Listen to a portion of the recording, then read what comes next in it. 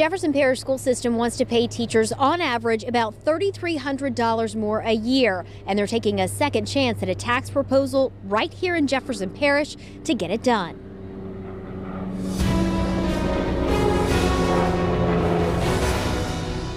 The raises need a, a lot more substantial pay.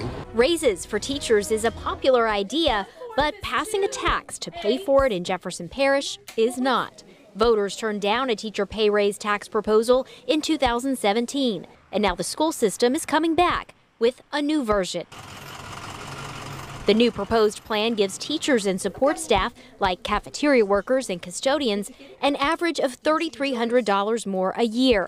And it would cost the average homeowner about $1.65 more in property taxes every month. There's nothing more important in our educational system than a quality teacher in front of every single child. And right now, given the base of revenue that we have, we're unable to compete with surrounding parishes.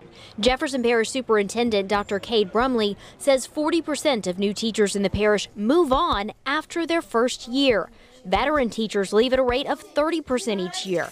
The reason, Brumley says, is pay. I love the teacher pay raise proposal. I'm a teacher myself. Jennifer Beach teaches fourth and fifth grade in Jefferson Parish. There's a lot of work that goes into trying to plan for your lessons and, and pay for things, you know, get your supplies. A lot of kids who, who come to our schools don't come with all their school supplies, and a lot of times teachers provide that through their pockets. But people I talked to off camera said the tax isn't fair for parents already paying for private school.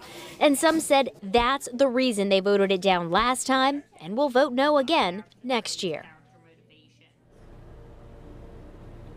The tax proposal is on the ballot May 4th. Reporting live in Metairie, I'm Jennifer Crockett, WDSU News.